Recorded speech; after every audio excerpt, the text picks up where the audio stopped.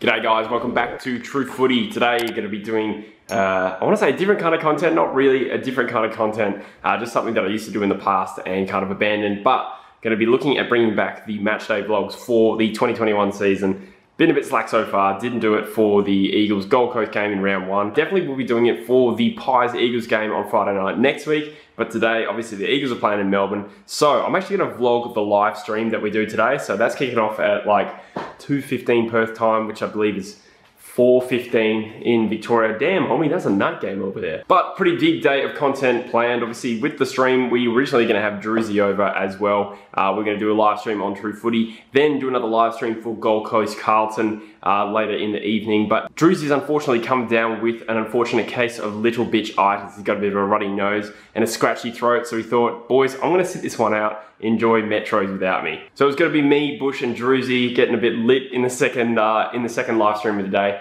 and then head on out to Freo. But probably going to give Freo a miss tonight, but I thought why not still uh, have a crack at some content. So it'll be me and Bush for the live stream later today and I uh, can't wait for it to kick off. Early vibes for the Saints-Eagles game. I'm feeling fairly confident at the moment, to be honest. Um, Saints obviously got battered by the Dons last week, and the Eagles uh, really clapped the cheeks of Port Adelaide, who then beat Richmond uh, last night, which was an incredible game. Sad to see so many young players like Butters. In particular, Butters is such a good player. Easily my favourite Port Adelaide player right now. Uh, and then Duursma go down with uh, what could be an ACL, unfortunately. So, um, incredible game, and I'm really glad that uh, that Port got the chocolates. Probably did the Eagles a favour in some way, but. Um, big opportunity for us to potentially leapfrog Port, um, and I think we're already ahead of Richmond at the moment. So, big game for West Coast. Rowan Marshall's back in for the Saints, which does have me not nervous, but I think if uh, if Naitanui was allowed to do whatever he wants against you know some inexperienced rucks today, I think we would have absolutely torched them by 50 points. Marshall at least makes it a bit more competitive there, and maybe they're you know got a bit of a point to prove. Their season's almost on the line already because they've been really poor in the first month. So if the Saints don't respond today, you're thinking, poor, can they make the finals? Uh, whereas you know, if they win today, you think, gee, you know, they're back pretty much where they were before. Right now, I'm going to go pick up something from my dad um, and you're going to hear his thoughts on how the Eagles go today as well. All right, here we are at Papa McClure's residence, the birthplace of True Footy actually. Uh, this is, yeah, literally where True Footy was launched in late 2017. I'm gonna get into the shade here because it's a little, little stanky, but uh, yeah, a lot of fond memories here. Used to live here for the first two years of the channel. Um, and yeah, podcast number one was up in the spare bedroom up there. So um, yeah, some good memories. And now we're going to see Dad. So I need to pick up a microphone. We get his expert advice on the tipping because he helped rates himself. Here I am in the uh, Papa True Footy residence with the master tipster, as he assures me he is, after a long successful career as a baiter. Um, we got Dad here. Dad, how are you feeling about the Eagles game? I'm pretty confident. Pretty, pretty confident? confident? We're in good form, and I honestly don't rate St Kilda. Everyone mm. was a lot of hype about them early in the year, but I, I saw them play one game.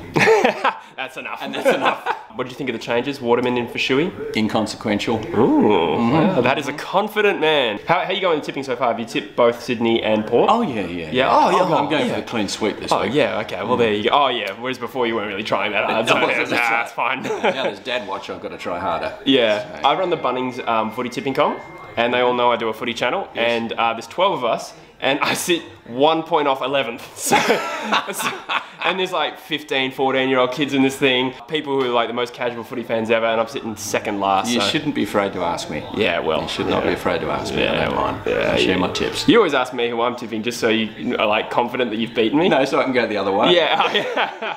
well, I'm one out of three tipping the Eagles this year. Mm -hmm. uh, only tipped them correctly against Gold Coast. Um, tipped them to beat the Dogs and lose to Port. So uh, I've tipped them today, so it's going to hurt when we lose, Dad. Yeah. Angie asked me the other day, uh, last night, who Jesse tipped. Oh, I no. said, I hope he tipped Essendon. I see Waterman more as a replacement for Langdon mm. rather than a replacement for Shuey. Mm. Big, so true. big marking power. I think he'll be good. Mm, yeah, hope so. And then uh, Brander obviously played his best game for the he club did. so far. He, should, he, he, stayed in, which is he worth is worth his while. Yeah, so we might see him more at the centre bounce this week um, yes. with no Shuey as well. So yeah, oh. um, hoping for a win, hoping for like 25 points. Um, yes. Yeah, so yep. go Eagles. Very good. Who's this? We don't know some French cunt. okay, ready? Three, two, one, now go. No? Alright, three, two, one, go. Wait, three, two, one, go. Wait, three, two, one, go. Wait, wait, wait, wait. He's not pressing three, two, anything. One, go. I'm joking, there you go.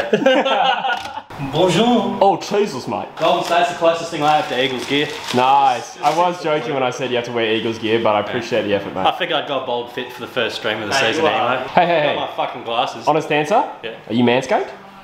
Currently. No, you can't. Boys and girls, welcome back to True Footy Live for season 2021. It's actually not our first stream, so talking out in the old. But uh, West Coast versus St Kilda today, boys. I'm joined once again by Young Delan, as seen from the Coulworld podcast, link in the description, and Daniel H. Busher. I'm actually vlogging this at the same time, so you can't see Bush. Maybe I'll just. Bit of simultaneous. Nice. How you doing, Busher? Good, mate, sir. Is the audio loud enough? That's my other concern.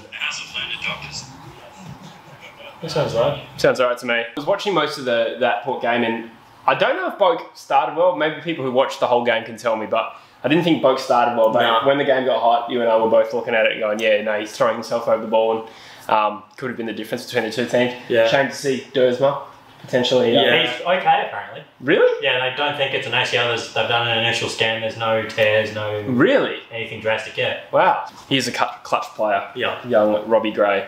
Twitter Roberto. Robert, did you burp while you said that? I think I did actually.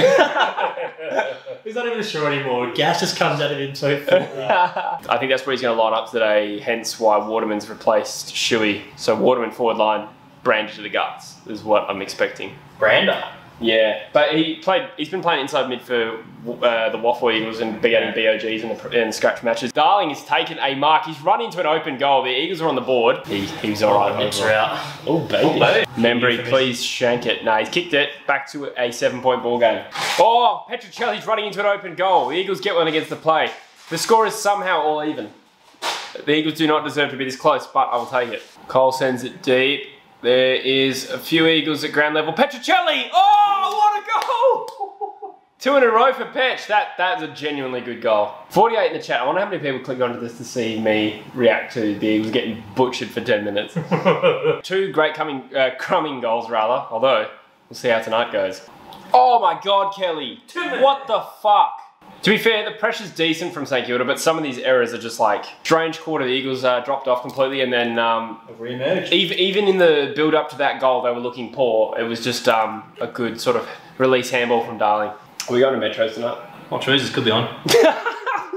Izzy Winder has just belted a fantastic opening goal of his career. The Eaton Boomers prospect. He's uh, he, and I actually played at the same junior footy club, except I'm like 10, 10 years older than this guy. JK with the intercept and goal assist. Really good play from JK there, actually. Oh, oh no. Kennedy. Kennedy is kind of spoiled. Uh. Cripps, yeah, damn, that was a certain shot on goal. West Coast in the forward pocket, Jamie Cripps on a Dom Sheed angle, you would say, for a right footer. we love going back to a Dom Sheed reference as many uh, times in an Eagles game as we possibly can. He, that looks pretty good, but it doesn't have the legs. It's a goal! what a ripper! What a ripper from Cripper. Jack Steele's a handsome man. Absolute rooster. A new segment on True Footy, Hottie Watch. Brad Crouch. No. Bailey Smith's been pissing me off lately. I reckon he's got a bit of flog about him. Didn't get talked about much, but I, uh, except for Dermott Brereton, but the way he stepped over Brad Sheppard against the Eagles, I thought that was really lame. All right, second half just about underway. Nick Nat up against, it looks like Marshall's back in the ruck. He's back on the field, that's Yeah. good.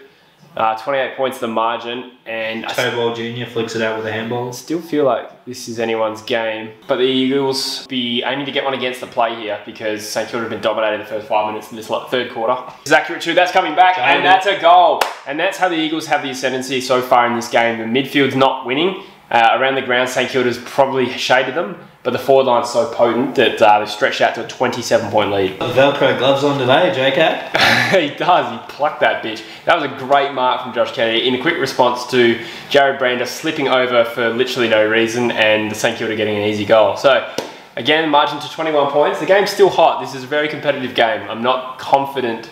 I'm not relaxed, put it that way. I'm probably that danger margin now for St Kilda where if the Eagles get the next one, it's uh, it'll be tough. Not impossible. Oh, Petruccelle! He's kicked it! Yes! Is that four goals for Petruccelle? This is one of the best games Four of his or career. I think it's four. I don't know. It's not like football this year is a little different. Teams can score so quickly. Like I feel like comebacks are a lot more um, possible now. All right, so uh, not a lot of vlog footage in the last few minutes as St Kilda absolutely towed up West Coast and erased, uh, erased what was it, 33 points the margin? Now By it's and large, 10. I think yeah, 10 points the margin at three quarter time. One way traffic. Hopefully St Kilda have spent their tickets because they are just making the Eagles look like shit house at the moment. Killing them in all the, the stats, all the contested ball.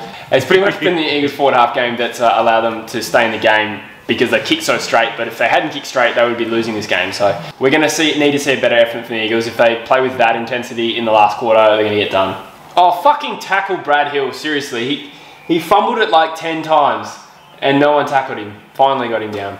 Oh, Billings launches the ball forward. Oh, that was a uh, blind kick to three Eagles and one Saint. It's found the only Saint. That's frustrating. Shit, my cash out's gone up to 44 bucks. Mm, I reckon Saints are pretty safe here, eh? Yeah, I'm thinking, hold on, fuck it. Wonder how many people are going to jump on to see my reaction. 47's a lot. 57 according to mine. oh, really? Yeah. I mean, you can see this coming. People said I was negative, but the way the game's been trending, You reckon cash out, Drews? uh, no way. St Kilda safe here. St Kilda have played a lot better than the Eagles today. The Eagles are a very, very soft team. Yeah, they need somewhere for the Eagles to start getting angry and care because it doesn't look like they care since since they got that five goal lead. Even when they were kicking those goals, we were saying like the difference between the two sides is the Eagles are kicking straight, making the most of the opportunities, but St Kilda have I've just had that many more opportunities 24 to 15. But now, now the gap between the sides is widened so that St Kilda just waltzing out of the centre with the ball. The Eagles aren't really putting any pressure on. Maybe a half tackle here and there, one-on-one contest goes the Saints' way. Yeah, the pressure, like the pressure, they're off the fucking Richter scale. Yeah, pressure. yeah. We just look like we've all got the flu. So this game has taken a disgusting turn. The Eagles have been battered from pillar to post for a good quarter now. No response. Really pathetic. Nick Nat, worst on ground, followed by Tim Kelly, close to worst on ground. The takeaway from that game was how poor Port were. Um, I, I, I said this to Dad all throughout the Port game. I was like, I'm not that impressed. I'm really not that impressed. I'm going to need Metros to fucking get this game out of my system. Ugh. The Eagles have an inside 50 for the first time in a long time. Darling has an uncontested mark. Uncontested mark in the goal square and he spilled it. Ooh, was that? And that's out in the full and they're giving it to Brander. I'm filthy. I'm filthy. I don't know if that's coming across. I'm very negative. I don't think I've said what the fuck so many times in a game. So slow and like they don't give a shit. Like Seger just ran into an open goal there. Very little pressure. It's been one of the filthiest losses I've seen in a long time. I don't know. I think you tend to forget the previous bad losses Yeah. and this this the one you're in right now always feels like the worst, but this is certainly one of the most angry I've ever felt in a football game. What the fuck was that kick? Good response from St Kilda. I guess as a neutral fan here, Bush, Yeah. where do you think this elevates St Kilda back into the pecking order? Because people were saying no finals a week mm. ago. I think they're back in that sort of tier of like the Essendon, Carlton, that tier of teams, Yeah. rather than like that more certain for finals team. You could literally make a Benny Hill mo- like uh, montage over the Eagles in this game. Well, I love your work, Nick. I jumped on at half time at nine dollars seventy five. Oh, that's sick. Thank you very yeah, much. cool. Yeah, no. Mate, he's just fucking eighty seven bucks over much. That is actually a fat load of money. Congrats on the bet, even though I hate you. Uh, West. Coast flat track bullies. Let's look in isolation at the games. Gold Coast put up a tough, were tough opponents. I think we withstood that game well. The Bulldogs was a far better performance than today Yeah. when we played them. Lost by seven points to a team that's a fair bit better than St Kilda. No, I wouldn't say that's a flat track performance. Last week against the Port, yes, Port were Port were just as bad as we were today, and we they made it easy for us, and I didn't take too much out of that win. Today was not our toughest opponent, and we were fucking nowhere near it. I'm guessing we'll have a My uh, DMs are blowing up, eh? So we live streamed the Collingwood final last year, and I don't know if you remember this, but I was sitting here and I was like, this doesn't burn me that much because it didn't feel like we'd lost anything. That that fucking annoyed me way more. That was way worse. No, I'm not melodramatic. Shut up. I, but credit where it's due. I, I know I'm just banging on about the Eagles. St Kilda's pressure, like you said, uh, yeah, made it very, very tough. But then maybe there was just some perceived pressure where because of the pressure all night, even when we were open in space, we were making dumb Yeah. mistakes. So Well- Lo- Logan tipped the Saints. Well, credit for Yeah. back in his team getting it right. yeah. I love the gusto there. Thank you for everyone who tuned in today uh, to see me have what is can only be described as an absolute meltdown on True Footy Live. But hey, You got to see me be a punt wizard, so it's okay. it's uh, it's uncut, it's raw, it's uncircumcised footage of uh, True Footy. This is what we're like on match days, and I'm sure I'll be tearing my hair out again next week when Collingwood do us in in Perth. But um, while we have you, Thank you so much for tuning in, but also subscribe if you haven't already. Um, help us tick over to 11k because I think we're borderline. Yeah, thanks guys. We're going to end the stream there. Thank you so much, and we will see you next time. Peace out. All right, it's been like 45 to an hour after the game. I think I've just stopped pacing. Haven't really calmed down that much. That uh, that was awful, and um, I had a choice between on the stream, bottling it all up and staying completely silent, which I think it was for about 10 minutes in that third quarter, or actually expressing myself. Um, and as it turned out, me expressing myself was just a lot of uh, shameful swearing uh, at how frustrated the Eagles were. It, it just kind of sucks because I feel like it was an opportunity to sort of ascend ourselves into being in the top four, at least on form. Uh, maybe not in terms of ladder position, but you've got the Bulldogs and Sydney, probably the clear top two performers uh, so far this year. And then there was a little bit of an opportunity to sneak into maybe third with Port and Richmond not looking super crash hot, but as it turns out, we're just fall back with the rest of the slop with a really poor performance. The midfield without Shuey and Yeo uh, was exposed, um, and I, think St Kilda just wanted it more. The Eagles literally played like a team who had the flu, um, which you know I'm hoping they secretly did. But I mean, I've been very negative on the Eagles and maybe not getting, given St Kilda enough credit they probably deserved, well, they certainly deserved to, to win, probably by more, to be honest. Um, but they obviously came out with the response after a uh, bad loss last week and just out hunted us. And yeah, it's just, it's I'm, I'm pretty gutted. I'm not going to lie. But um, thank you to everyone who joined in the stream. I think we had crazy numbers, undoubtedly because people joined in to see my reaction. I hope they got what they were looking for. Let me know if you enjoyed this kind of style video. I don't know if I'll keep it. Depends really on the views and, and the response as well. So if you like it, write in the comments, I enjoy pickles. Uh, and I, I, would really appreciate that. But thanks, guys. Um, stay tuned for the True Footy Show and just the tips coming up this week. Probably going to do a podcast, um, and you know we'll do a live stream before long as well. So thanks so much, and we'll see you in the next one. Cheers.